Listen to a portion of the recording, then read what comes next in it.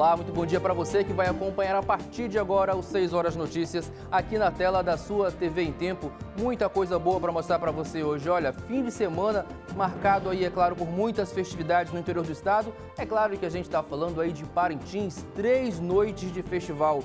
E olha só, além de Parintins, a gente também vai falar sobre assuntos importantes que aconteceram durante o fim de semana e, claro, trazendo as ocorrências policiais. Não sai daí, vou mostrar agora para você o que a gente preparou no programa de hoje. Dá só uma conferida. Adolescente é espancado até a morte após um desentendimento por causa de drogas na zona norte de Manaus.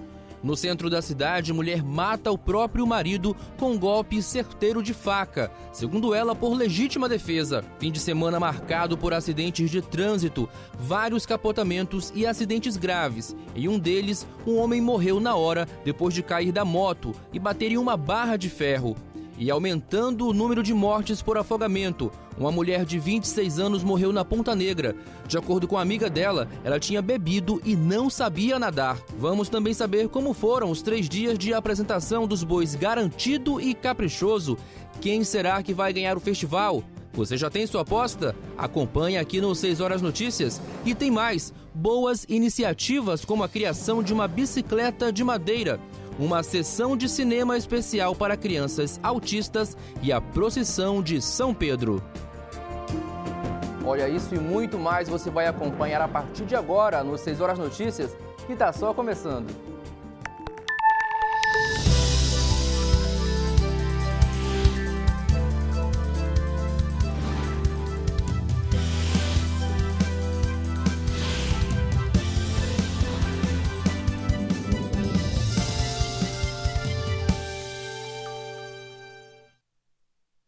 Muito bom dia para você. Começa a partir de agora os 6 horas notícias. E olha só, já quero trazer a participação de você aí de casa que está acompanhando a partir de agora os 6 horas notícias. Olha, manda a sua foto através do nosso WhatsApp e aí você manda o seu nome e também manda o bairro que daqui a pouquinho nas passagens de bloco a gente vai mostrar aqui na telinha da TV em Tempo. O nosso WhatsApp é esse que aparece aí no seu vídeo. Manda que daqui a pouco eu quero saber o que você está fazendo. Você está indo para o trabalho, você está retornando aí de Parintins, se acompanhou os festivais aí com Garantido e Caprichoso ou se está de plantão trabalhando aqui junto comigo. Mas olha só, falando em Garantido e Caprichoso, a gente agora já vai ao vivo falar com o Alex Costa, que acompanhou aí todas essas informações lá na Ilha Tupinambarana, desde sexta-feira, acompanhando todo o Festival Folclórico de Parintins. E olha, já tem gente retornando para Manaus, porque a vida continua, tem gente que tem que trabalhar, e é isso que ele vai trazer agora para gente. Vamos lá para a Ilha Tupinambarana. Bom dia para você, Alex. Oi, Juliano, bom dia para você. A gente está mostrando para você nesse exato momento imagens do Rio Amazonas, nascer do sol, tudo muito lindo aqui. E é lógico, o embarque, né? As pessoas acessando agora esse canal do Porto, todo mundo ainda às pressas, né? Os barcos principais já saíram por volta das duas horas da madrugada, três horas da manhã. Ao longo da madrugada, assim que termina o festival, o pessoal já corre aqui para o porto, que é para pegar a embarcação e não chegar muito tarde em Manaus. Mas ainda tem gente que fica por último, né? Que acaba é, entrando nas embarcações agora pela manhãzinha, rumo não somente a Manaus, mas também a outros municípios aqui da região norte. Santarém, na direção do Pará, também é uma outra cidade que se movimenta bastante, onde há muita movimentação é, de passageiros né, que utilizam essas embarcações e que vêm curtir o festival aqui em Parintins. Nós é, acompanhamos de perto esse festival, foi muito divertido, viu, Juliano? Foi algo assim fantástico de se ver a movimentação de pessoas né, e o carinho com que essas pessoas brincam os bois bumbás, garantido e caprichoso. Nós preparamos um material especial para vocês aí de casa mostrando um resumão exatamente de como foi a programação dos bois garantido e caprichoso aqui na Ilha Encantada, na Terra da Magia. Eu quero convidar com todo o carinho, com todo o prazer, você aí de casa a assistir essa matéria. Põe no ar para a gente ver.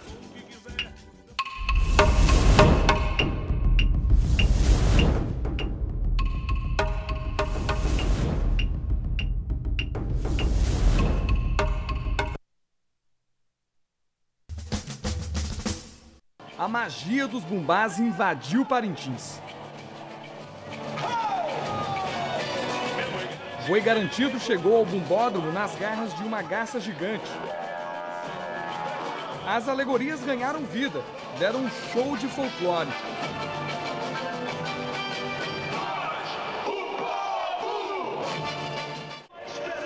Caprichoso não economizou nos detalhes. As cores da floresta preencheram cenários que fazem parte da imaginação dos amazonenses.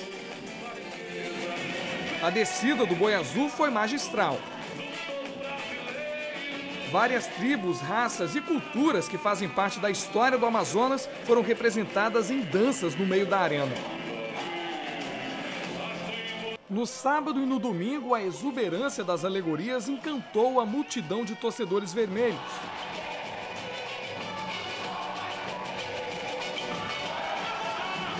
E levantou o astral dos apaixonados pelo boi azul.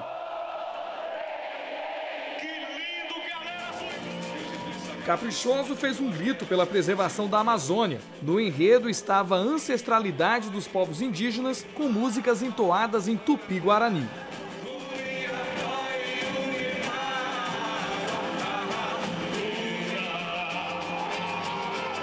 A interação da bela sinhazinha com o boi bumbá azul foi narrada ao som dos versos do Amo do Boi.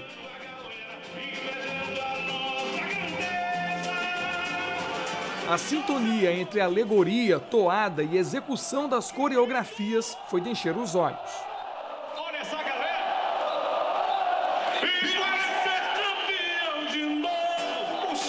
Em Garantido, o povo dos pés rachados fez um clamor pela alegria do mundo. O tema junino, com detalhes nordestinos, exaltou a raiz do povo sofrido que veio para a Amazônia em busca de uma nova vida.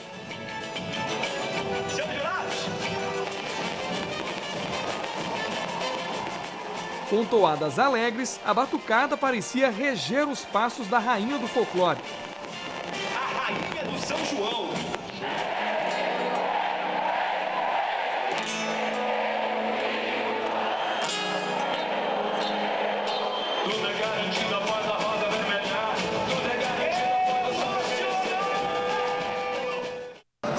Apresentação lá do Bumbódromo, tudo parece bonito, perfeitamente ajustado, como se fosse uma grande orquestra tocando. Mas aqui do lado de fora é que o bicho pega, o corre-corre é grande, tudo precisa ficar perfeitamente equilibrado.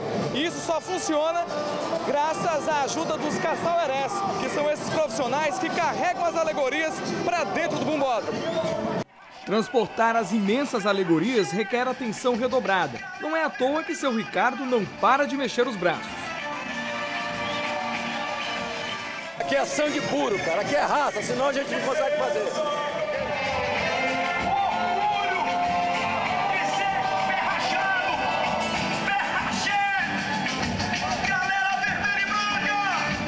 Do lado azul, os Paikissés guiam as estruturas colossais rumo à arena. Artistas, dançarinos e coreógrafos parecem participar de uma verdadeira maratona entre corredores estreitos e tumultuados. O maior show do mundo é aqui! Pode vir, eu admito!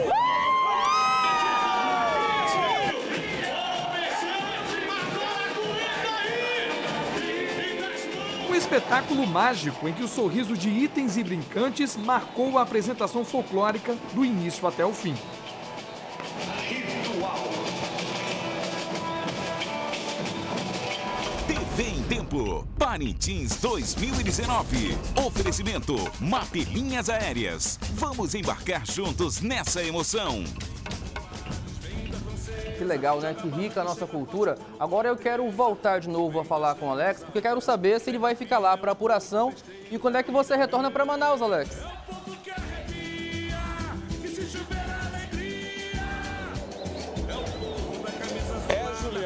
Volta da, da nossa equipe está confirmada para quarta-feira. Só Deus sabe se a gente vai voltar mesmo. Pode ser que a gente entre nesse barco agora? Bora, Larry. Vamos entrar nesse barco. Agora tem que pegar a fila. Olha o tamanho da fila.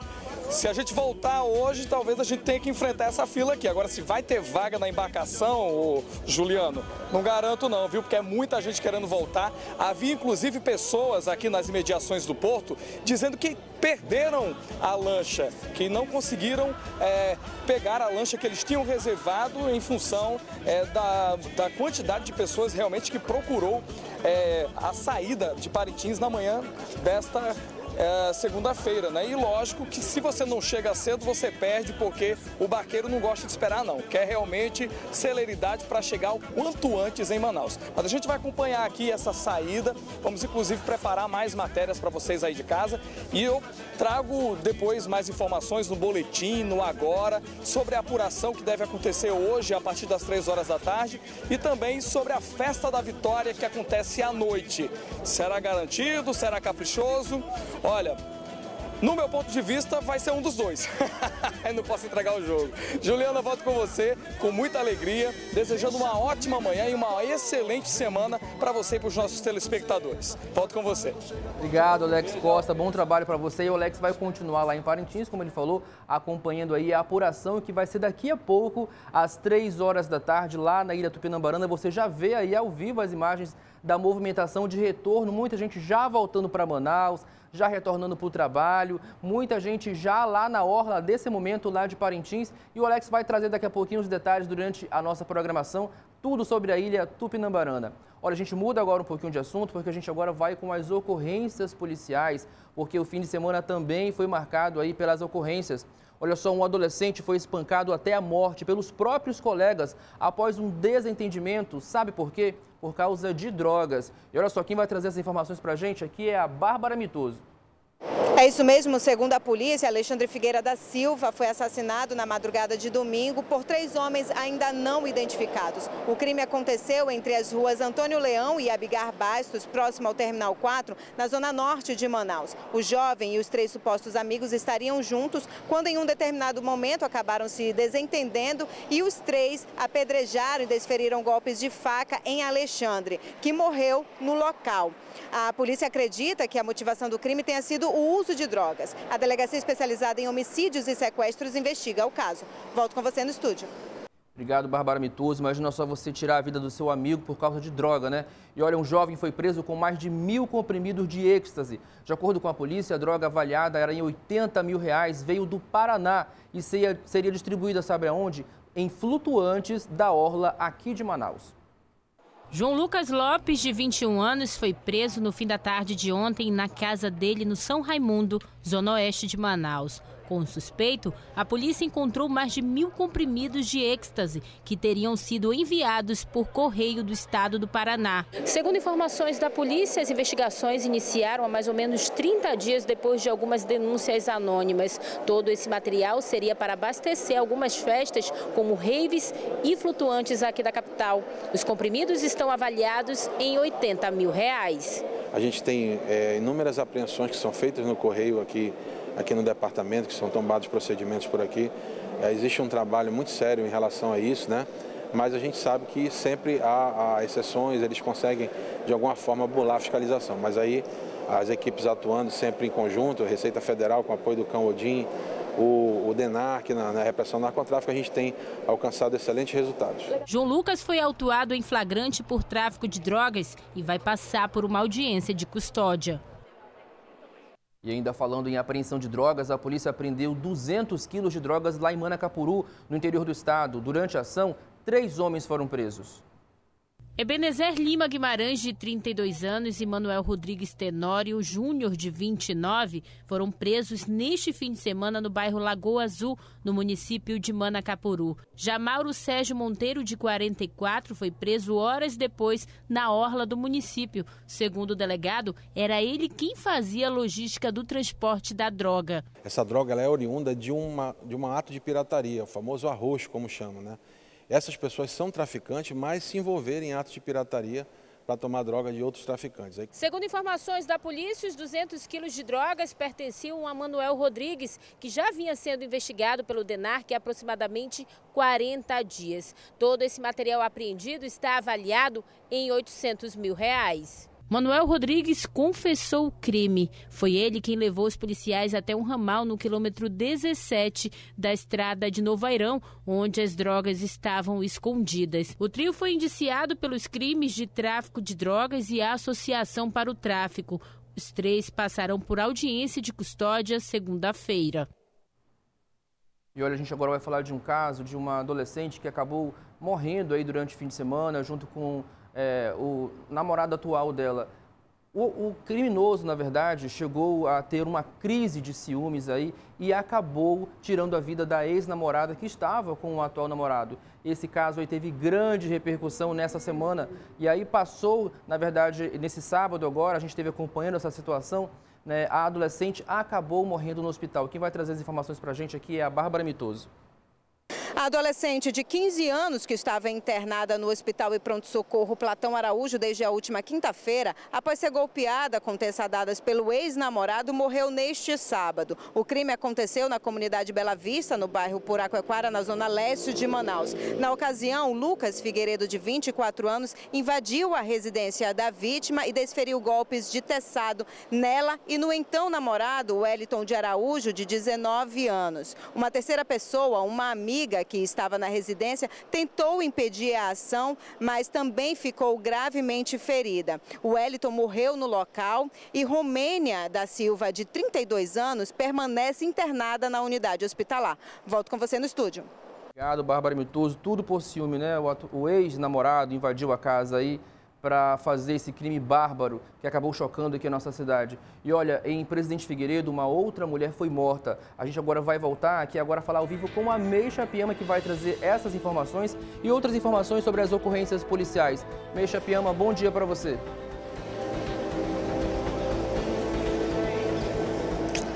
Pois é, Juliano, muito bom dia para você, bom dia a todos que estão acompanhando 6 horas notícia. É isso mesmo. Olha, Fernanda Soares Martins, o corpo dela foi encontrado ali no ramal 139 da BR-174, bem próximo ao município de Presidente Figueiredo. Segundo informações de algumas testemunhas, eles ainda chegaram a ouvir seis disparos de arma de fogo e em seguida viram duas motocicletas passando em alta velocidade, mas eles não conseguiram identificar essas pessoas. Segundo a polícia, pelo estado do corpo da Fernanda, ela teria sido morta na noite de sábado. E lá no bairro do Novo Israel, na zona norte de Manaus, o corpo de uma adolescente de 15 anos foi encontrado em uma área de mata ali do bairro da zona norte da capital. Segundo informações da polícia, o corpo dela não apresentava nenhum tipo de ferimento. Foi apenas encontrado duas alianças em cima dos seios dessa jovem. Segundo testemunhas, ela seria lá da zona sul da capital. O corpo dela foi encaminhado para o Instituto Médico Legal e a polícia já está investigando esse caso. E lá no município de Quari, um menor de idade identificado como Roxinho foi assassinado pelo próprio amigo. Um amigo desse a gente não precisa nem de, de inimigo, né, Juliano? Segundo informações de algumas testemunhas, quem teria assassinado o Roxinho seria um outro menor de idade, tudo para culpar um desafeto dele que já teria tentado também matar essa vítima em uma outra ocasião. Duas pessoas foram presas lá no município suspeitas de estarem envolvidas nesse crime. Juliano, essas foram as ocorrências policiais desta segunda-feira. Eu volto com você aí no estúdio. Obrigado, Meixa Piama. Bom trabalho para você. Daqui a pouco a gente volta a falar com a Mei. Mais um caso aí né, em que um amigo acabou matando o outro. E olha, no centro da cidade, uma mulher também matou agora o próprio marido. De acordo com ela, foi por legítima defesa. As informações que traz é Bárbara Mitoso. É isso mesmo, o crime aconteceu na madrugada de domingo aqui na Balsa Amarela, no porto de Manaus, no centro da cidade. Railza Reis esfaqueou o marido na coxa. Ela alegou à polícia que fez isso em legítima defesa porque ele havia agredido. Sebastião Gomes, de 40 anos, ainda tentou caminhar e pedir ajuda, mas não resistiu ao ferimento e morreu no local. Railza foi presa em flagrante e encaminhada à delegacia especializada em homicídios e sequestros. Volto com você no estúdio. Obrigado, Bárbara Mitosa. Bárbara Mitosa estava no nosso plantão agora no fim de semana. E olha só, um homem foi encontrado morto em um hip rap. Isso foi na colônia Santo Antônio, zona norte de Manaus. Ele foi assassinado quando saiu da penitenciária. Era por volta de 6 horas da manhã quando os moradores encontraram o corpo de Jânio Castro Soares, de 22 anos. A vítima estava de bruços, jogada dentro deste garapé no Beco da Fé com a Rua Natal. O homem apresentava mais de 20 marcas de facadas pelo corpo e um corte profundo na garganta. Segundo informações de algumas testemunhas que não quiseram gravar entrevista, Jânio teria saído na última terça-feira de um presídio onde ele estaria cumprindo pena pelo crime de roubo. Para a polícia, ele apenas foi jogado aqui nessa área do Hip Rap, no bairro Colônia Santo Antônio, no qual ele teria sido degolado. A motivação seria um acerto de contas. Além de responder por roubo e tráfico, o jovem já tinha seis passagens por crimes que cometeu quando era menor de idade. Familiares da vítima não quiseram gravar entrevista. Policiais da 18ª SICOM estiveram no local e isolaram a área. Olha, não sai daí não que eu vou para um breve intervalo comercial. Na sequência, a gente vai trazer mais informações, mais ocorrências policiais agora do fim de semana. Não sai não que o 6 Horas Notícias volta já já.